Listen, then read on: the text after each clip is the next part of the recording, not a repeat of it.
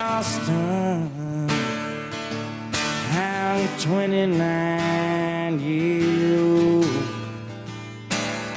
And I was born in Oklahoma.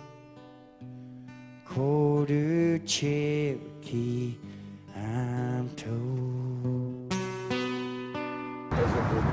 Oh, Bill, it's so good to see you. Welcome to the journey. All right, I'm glad to be here. What happened to Marietta Ye- Jaeger shouldn't happen to anyone. It's the unimaginable. It's the inconsolable. It upsets the order of the universe. Marietta's story is probably one of the most powerful stories that I have ever heard. I cannot even imagine what it would be like to have something that precious taken from you. She is a shining being because just to be in her presence is a blessing. And to hear her words is an experience you never forget. Welcome to Texas. Texas, here I am. I went on a camping trip with all my children, five kids, and my husband. And I got down on my knees and I reached over to kiss each one of the kids goodnight. And the, my youngest daughter, Susie, who was only seven years old, was the hardest for me to reach. And I could hardly reach her. My lips just sort of skimmed across her cheek as I kissed her goodnight. And she said, Oh, no, Mama, not like that. And she got out of the sleeping bag and she crawled across her sister and she got right in front of me and she threw her arms around me and she gave me a great big kiss right smack on my lips. And she said, There, Mama, that's the way it should be. And I praise God for that lovely, lovely memory because that was the last time that I ever saw my little girl. I really allowed myself to get in touch with my rage. And as my husband and I were getting into bed, I said, even if the kidnapper were to bring Susie back alive and well this moment, I could kill him for what he has done to my family. And so I asked God to help change my heart. And I realized that to kill somebody in my little girl's name would be to violate and profane the goodness and sweetness and beauty of who she was. That I didn't honor her by becoming that which I deplored, somebody who kills people. If it were to happen to one of my family members, I would be for it. That's normal for the family to feel that way.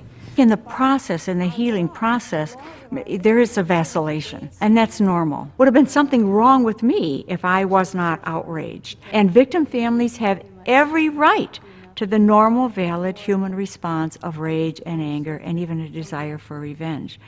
But to legislate that same kind of gut level desire for bloodthirsty revenge in the name of the death penalty will have the same deleterious effect on us as a society as it does on individuals. It degrades us, it dehumanizes us, it debilitates us. Civilized society, then our laws should call us to a higher moral principle. They oppose the death penalty. I'm in favor of the death penalty. We'll debate that issue next on Take a Stand with Adam McManus. I find that oftentimes in um, some Christian circles that there is a response to uh, my situation that I would have to characterize as unchristian. Adrian, what are your thoughts? Oh, I'm I'm for it. And what specific biblical uh, verse or scripture or principle can you cite that supports your position in favor of the death penalty? Leviticus 24:17. If anyone slays a human being, he shall be put to death. He called himself a Christian and he wanted to justify the use of the death penalty. And I thought it was very interesting that all the Bible quotes that he could find, all the sources in Scripture, were from the Old Testament. What scriptural uh, verses can you cite that favor your opposition to the death penalty? Well, I guess you could start in with the Sermon on the Mount. He said to love those that hate you. They are looking for uh, a way to retain anger and a desire for revenge and have it supported and affirmed by uh, Scripture. You're distorting scripture and you're trying to put this liberal spin on it that it's just a matter of interpretation. Uh, when I look at Scripture, I see a God who loves us, who forgives us, who picks us up every time we screw up. Go ahead, you're on the air. What you have, uh, Adam, is a guest who selectively quotes scripture and misinterprets it and twists it to prove her own agenda. And you know that is that, that is despicable to me. You either adhere to the principles of scripture or you do not. Don't try to bend them and twist them to suit your agenda, madam.